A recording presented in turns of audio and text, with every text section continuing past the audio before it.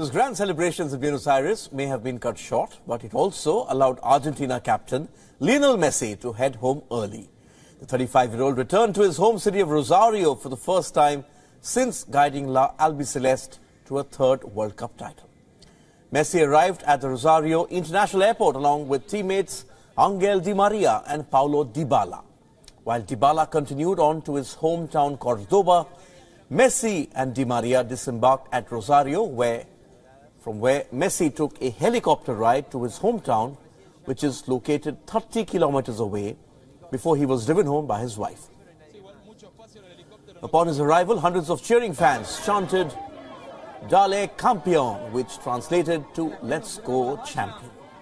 The Argentina captain took his first steps in football at this Rosario neighborhood before moving to Barcelona as a 13-year-old. Following his triumph at the World Cup, Messi has been invited by Brazil's famous Maracana to leave his footprints in the iconic stadium's Hall of Fame. The Rio de Janeiro Sports State Superintendence, which runs the stadium, repeated the invitation first made to Messi when his side won the Copa America last year. Argentina defeated fellow South American rivals Brazil in the final of the 2021 Copa at the historic Maracana. The Maracana is the spiritual home of Brazilian football and an invite to Messi is indicative of his achievements as a footballer first and then as an Argentine.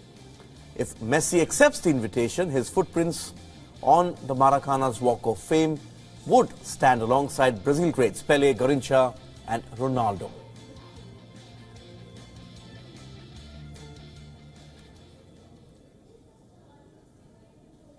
For many, the debate over the greatest footballer of all time was settled when Messi finally lifted the World Cup on Sunday. However, Barcelona legend and Messi's former teammate Andres Iniesta believes that the debate will rumble on. Messi ended Argentina's 36-year wait for that elusive world title and he stamped his class in the tournament with seven goals and three assists, which saw him win the Golden Ball for Player of the Tournament. For the second time that he'd won that honor after 2014. Iniesta, who played with Messi at Barcelona for over a decade, considers the Argentina captain the GOAT, with or without the World Cup trophy.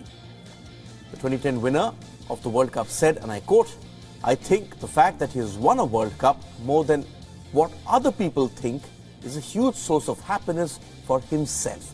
Not just for him, but for Argentina as a country. They're always in the running, and the fact they won it in the way they did makes it totally deserving.